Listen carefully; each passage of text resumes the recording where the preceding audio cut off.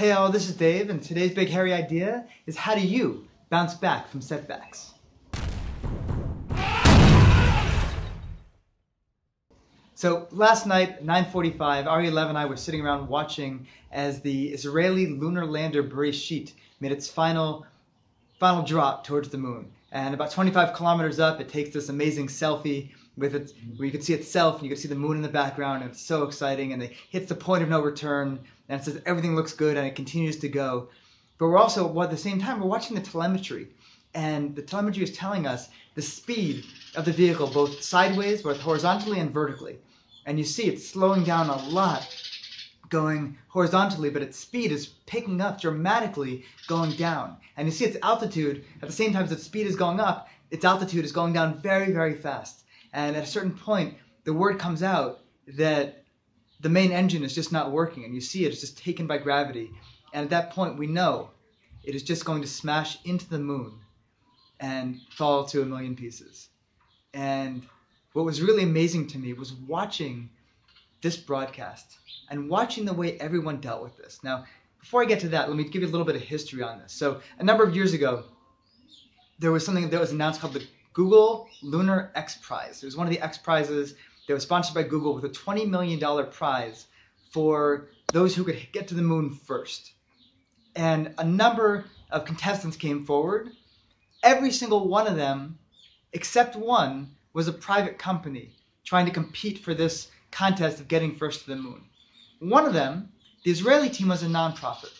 The Israeli nonprofit came at it with the perspective of we need to use this opportunity to educate people about science, to actually make this an educational project. And for years around Israel, there's been Space IL activities where people could go and could learn about the learn about space travel and kids could be learning about engineering and how to build things and kids were welcome to go and watch launches, you know, test launches and look at all the development that was going on. And for years there's been so much scientific education going on in this country about engineering and space travel around the Space IL team and the building its lunar lander, lander Beresheet.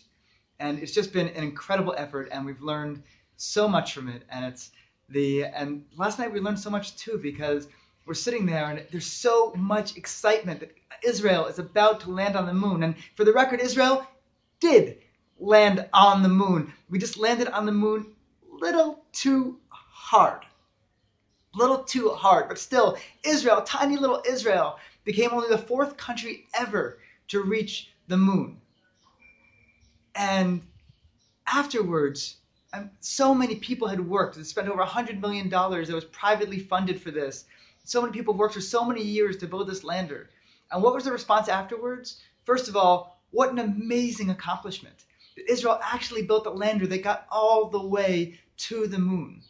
And two, okay, this is our first setback. Or the problem with building a lunar lander is you really can't test the thing, and this thing had never flown before, and it didn't work. And so, okay, we've learned that. We've gotten feedback. How do we use this to go forward even more? How do we use this learning experience to make sure that iteration 2.0 or 3.0, because there was another iteration that went up in a test flight, and SpaceX's rocket that was carrying it blew up and destroyed destroyed that one.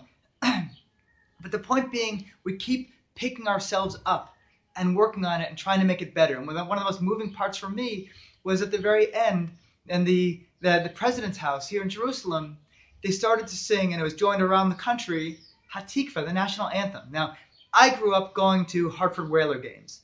And when we were playing a Canadian team, they'd, always start singing the, the U.S. national anthem and the Canadian national anthem. And all the national anthems I've ever heard are always about how strong we are, how powerful we are, how we fight, how we win, all of that. Israel's is completely different.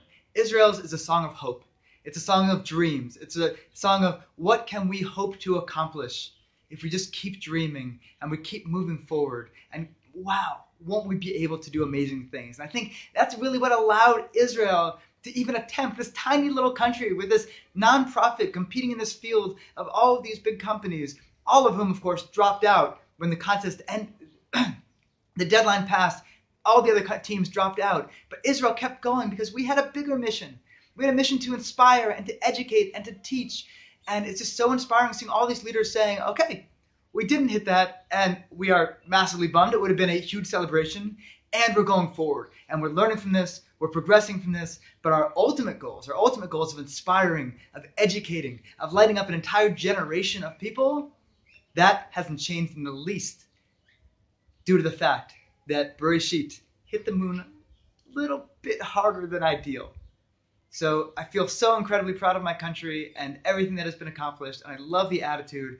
And I was reflecting on this as well because you know at, at the moment I was struggling with a couple of things that wow weren't going 100% in my business, and how do I, I do that? And feeling bad for myself. I'm like wow these people spent 100 million dollars in years of their lives, and they did crashed and burned on the moon, and they're picking themselves up and reiterating so much more so.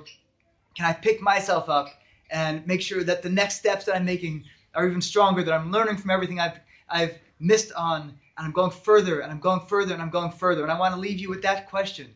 What is an area in your life that has not turned out exactly as you envisioned that it would? And how are you able to take this as inspiration? Pick yourself up.